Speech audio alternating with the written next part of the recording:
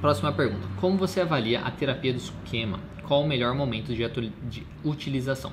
Bom, eu não trabalho com terapia do esquema, eu não tenho um conhecimento muito é, aprofundado na terapia do esquema. O pouco que eu sei da terapia do esquema foram de congressos né, que eu fui, e aí alguns é, que estavam falando de casos clínicos e tal, eles citavam a terapia do esquema, que é o, o modo que eles utilizavam. Eu acho interessante, acho muito interessante a terapia do esquema.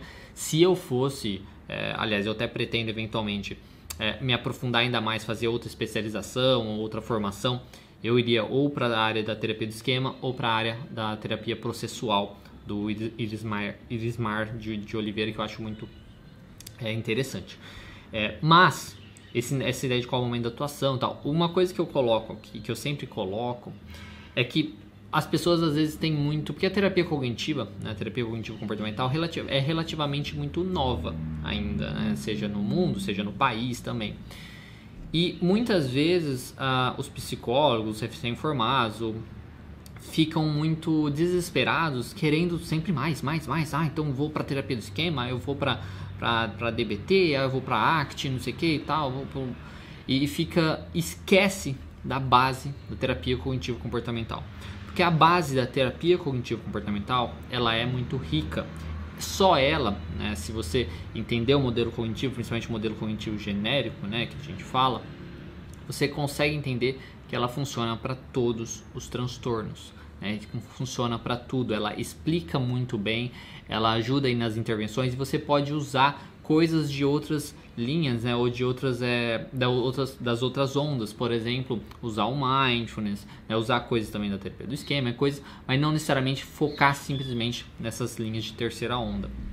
Então, uma, um conselho que eu dou é se aprofunde na terapia cognitivo comportamental, entenda mesmo a terapia cognitivo comportamental, porque uma coisa que eu observo muito também, até mesmo nos congressos e coisas assim, que as pessoas não sabem o básico da terapia cognitivo comportamental, porque parece que já vai correndo para as novas linhas e tal, e esquecem do básico, ainda não entenderam mesmo o básico, que é uma coisa relativamente simples, às vezes tenta complicar demais umas coisas, coisas que são na verdade simples e fogem demais é, disso, né? Então focam lá, ah, vou buscar terapia de esquema, vou buscar não sei o que, esquece do básico. Então, no meu, é, viajei um pouquinho aqui no, no que eu estou falando, mas é, como eu avalio a terapia de esquema, eu acho interessante, não tenho um conhecimento aprofundado.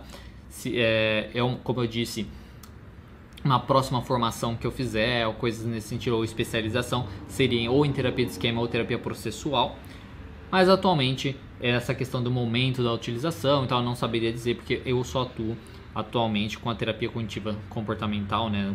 Terapia cognitiva comportamental do Beck mesmo, utilizo algumas coisas de mindfulness e tal, e para mim atualmente é por enquanto é muito suficiente. Não sinto a necessidade de utilizar outras coisas.